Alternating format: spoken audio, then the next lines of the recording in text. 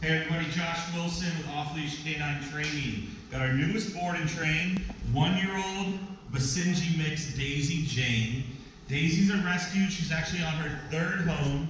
Uh, a lot of confidence issues, some anxiety issues, scared of vehicles, you know, as they go by. Uh, she's nervy, she's jumpy.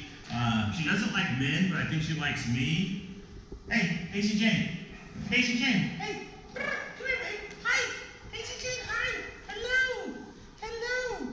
Oh, it's baby. So you see she's a little jumpy. Uh, she comes over as she's approaching though. She's immediately cowering. She's a little nervous. I mean, I'm just, you know, a friendly looking guy, super, you know, approachable, but we're still a little nervous. Hi, baby. Hi.